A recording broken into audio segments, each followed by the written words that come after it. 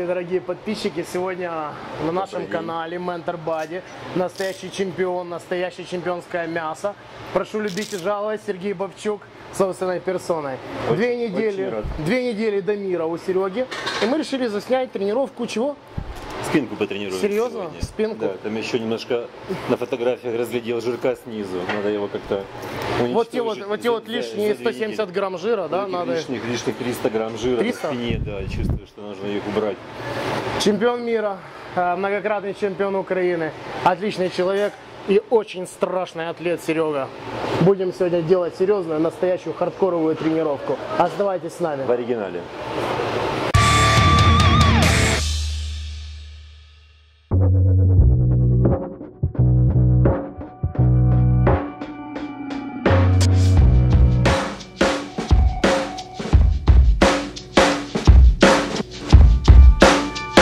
Первое упражнение нашего комплекса э, – верхняя тяга узкой рукояточкой строго вниз. Причем будем дотягивать максимально вниз, чтобы сократить нижние области широчайших.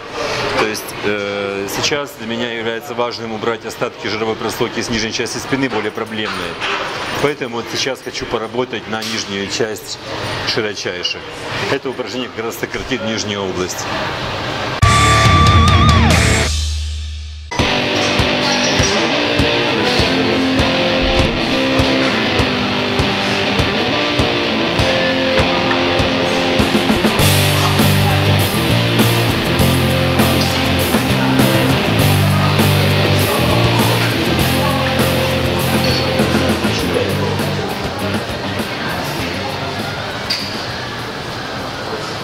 Принципиально делаем тягу не на себя, а тягу вниз, чтобы сократить нижнюю область широчайших.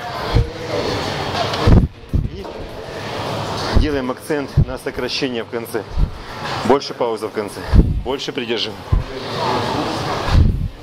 То есть фактически тренировки перед, перед соревнованиями у меня носят характер ну, фактически я позирую с весом.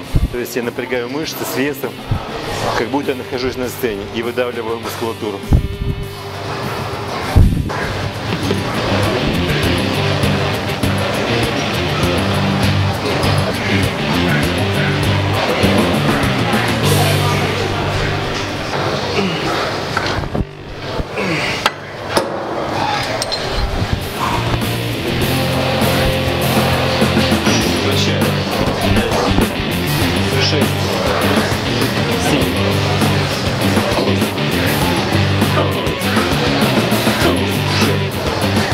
Завершающий подходик.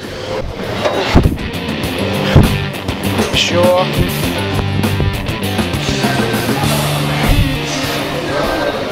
На мой взгляд, самая распространенная ошибка при тренировке спины – это является использование больших весов.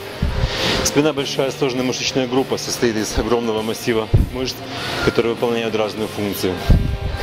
Поэтому спину нужно тренировать разнообразным большим количеством упражнений. У меня, например, в тренировочном комплексе за тренировку спины порядка 6-8 упражнений. Бывает такое, что делаю по три подхода, но делаю под разными углами, используя разные рукоятки. И, казалось бы, очень похожие идентичные упражнения, они все равно нагружают разные участки мускулатуры. Поэтому спина наиболее сложный функциональный массив и требует к себе очень разнообразного подхода. Плюс это работа с средними умеренными весами для того, чтобы прочувствовать мускулатуру. И, конечно же, это спина, это мышечная группа, которую вы не видите в зеркало, ее работу. И нужно постоянно ее представлять ее, визу- визуализировать работу мышц спины. Считаю это очень важно.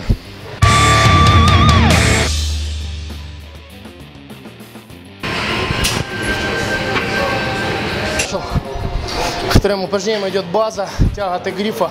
А, Сережа делает с небольшой паузой для того, чтобы еще больше продавить и прочувствовать а, напряжение в спине. При этом сводит лопатки за счет приведения локтей к корпусу. Все четко, подконтрольно, без рывков, без инертных движений и без закидываний. Каждое повторение – это один маленький шаг к победе. Если мы используем широкий хват в этом упражнении, мы нагружаем преимущественно внешнюю область широчайших. Если же используем узкий хват, нагружаем больше среднюю часть спины.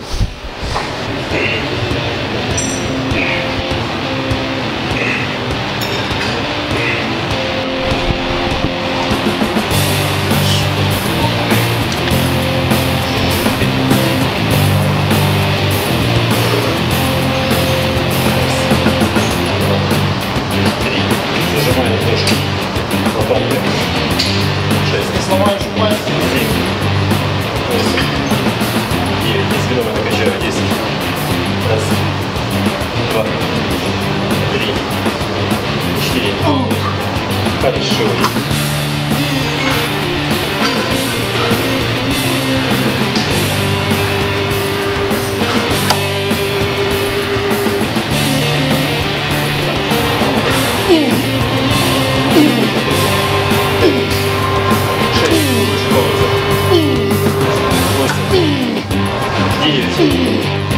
Я 15 сделал, перенес раз, два, три, как правило, в тренировке спины я чередую верхнюю и нижнюю тягу поочередно. Одно упражнение на толщину спины, одно на ширину. Толщину спины, ширину. Иногда я делаю на совершенно по-другому. Одну тренировочку я делаю полностью на толщину, то есть делаю, выполняю все полностью нижние тяги. Вторую тренировку делаю полностью верхние тяги. Но сегодня работаем комплексно. Верхняя нижняя тяга, верхняя нижняя тяга, чередуем.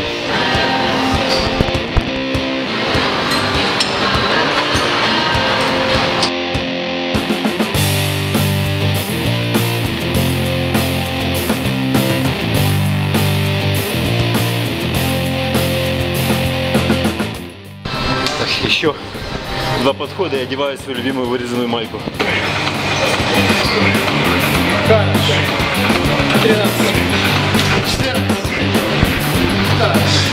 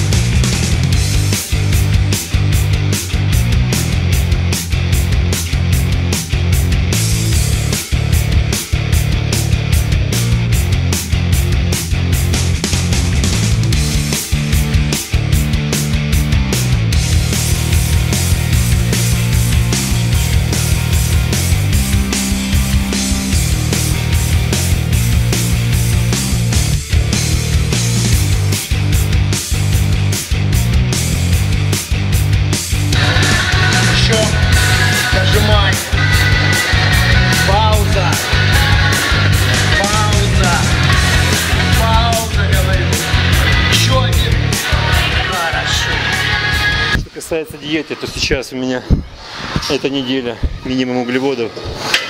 Это чередование. Один день 100 грамм углеводов, 50-150. Затем будет 5-6 дней без углеводки.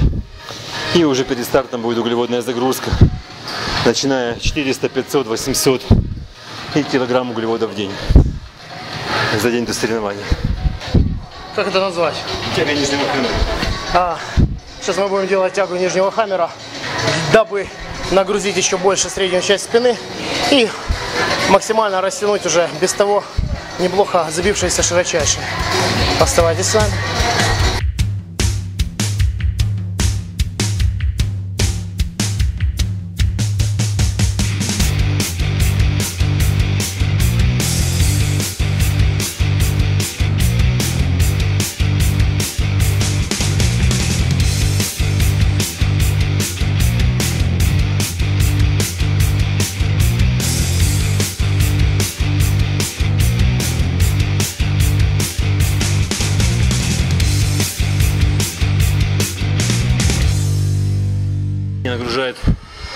Центральную часть спины, поскольку мы используем параллельный хват. Упражнение выполняем с максимальной подачи рук вперед, растягиваемся и в конце выполняем максимальное сокращение. Работаем по 12-15 повторений.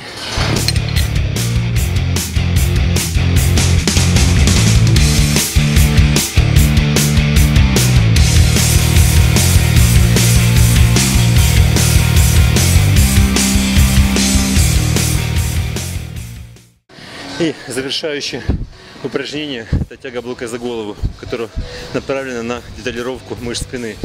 Скажем, такие тяжелые упражнения, как подтягивание, в этот период я уже не выполняю, поскольку это упражнение тяжелое, мышцы после него долго восстанавливаются. Сейчас на нехватке углеводов как бы это не совсем как бы актуально. Поэтому где-то за 2-3 недели до соревнований подтягивания я уже не выполняю. Хотя в межсезонье это мое одно из самых любимых упражнений, где я использую дополнительное отягощение, плюс 50-60 килограмм, вешаю на пояс и выполняю по 8 повторений. Ну, а, сейчас завершающим упражнением, скажем так, полировка спины. Будет тяга верхнего блока за голову широким хватом.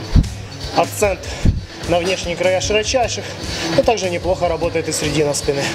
Опять же, в отличие от подтягивания, можно сократить больше мышцы широчайшие, ромбовидные и добиться пикового сокращения, что немаловажно на сушке для проработки и детализации спины.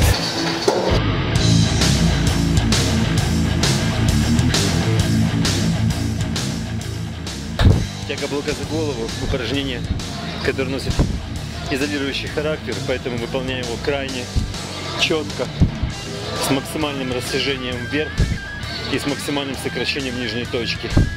То есть фактически выполняя это упражнение, я как бы показываю двойной бицепс сзади.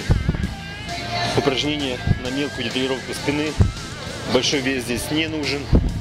Упражнение, кстати, противопоказано тем, у кого очень плохая гибкость плечевых суставов. Поэтому это упражнение подходит не всем. Если гибкость суставов позволяет упражнение не дискомфортно, значит его можно выполнять. Если упражнение выполняет дискомфорт, его лучше заменить на тягу блока на себя.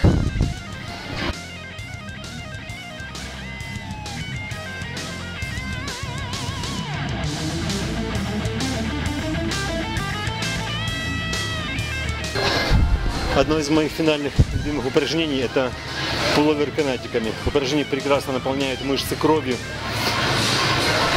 В конце придает максимальную накачку. Очень часто многие выполняют его неправильно.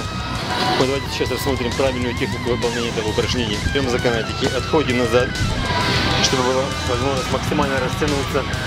Руки чуть в локтях, локти немножко разводим в стороны. И выполняем протяжку. В конце немножко придерживаем и сокращаем. Широчайше. Выдох. Выдох.